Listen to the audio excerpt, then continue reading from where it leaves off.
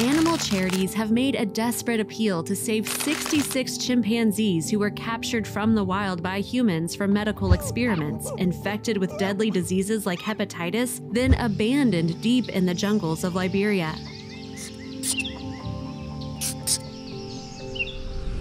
The chimps who live on six islets in the country's south were experimented on at a controversial virus testing laboratory set up by the New York Blood Center, NYBC, in 1974. The project's director at the time had promised the organization would continue to provide lifetime care for the animals who have become dependent on humans for food and shelter. But the company now disputes this. It stopped the research in 2005, leaving them on six small islets wholly reliant on human support. In one heartbreaking video that shows the bond between humans and animals, the chimps hug the volunteers who are currently their only lifeline as they arrive by boat to the island to feed them. But researchers pulled funding in March, leaving the future of the 66 chimps plus a baby born just this week in doubt after it had been in a protracted row with the government. They are now being cared for by animal protection charity Humane Society of the United States, HSUS, who needs 20,000 pounds worth of public donations every month to feed and care for them. Over three decades ago, the New York Blood Center entered into an agreement with the Liberian government to set up the ViLab project deep in the jungle, around 40 miles from the capital, Monrovia. The chimpanzees were held in cages on the islands known collectively as Monkey Island, which have little natural food and are surrounded by undrinkable salt water. NYBC, which supplies blood to around 200 hospitals across the United States, began trapping these wild chimpanzees and infecting them with diseases like hepatitis and river blindness so they could develop vaccines. It was around this time that the United States banned the import of wild chimpanzees into the country.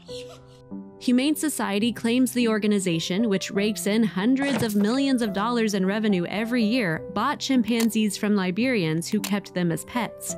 Documents obtained by Mail Online show a pet chimpanzee called Brutus was sold to the Blood Center in 1981 for $100. One year later, the center bought a two year old female chimp named Anita for $85. Also, if you have not done so already, please subscribe to our channel and click that notification bell to get inspired by these animal stories every day. Now, back to the story. Volunteers from HSUS feed them daily for the time being. One of them, John Abayomi Zianue, is greeted by a chorus of screeching chimps every time he approaches one of the islands. They leap around wildly as John throws bananas, pawpaws, and other fresh fruit at their feet. This is their way of saying that the food is here, he explained as he did a quick head count. I can't see Samantha. A bullet is here. He's already eating. The chimps are part of me. They need help. They need attention. We cannot afford to lose these animals to hunger and sickness.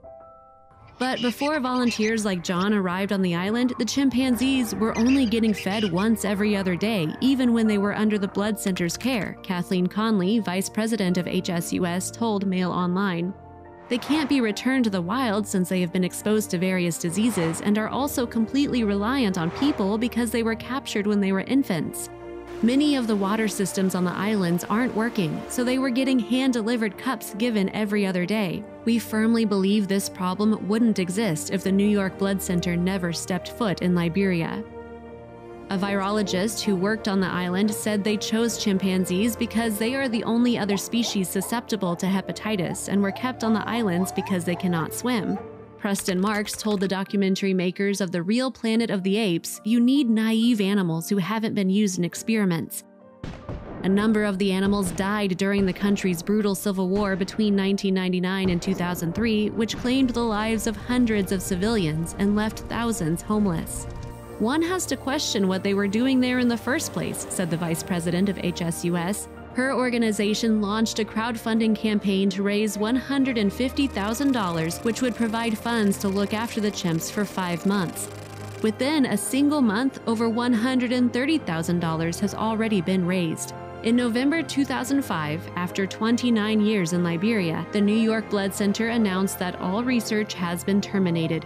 Alfred Prince, the ViLab's director at the time, said Liberia is now peaceful. 15,000 UN peacekeepers are in residence, and free elections were held in October this year. We have 80 chimps, all of which live in social groups. We presently have six islands of 10 to 30 acres in a nearby river suitable for housing released groups.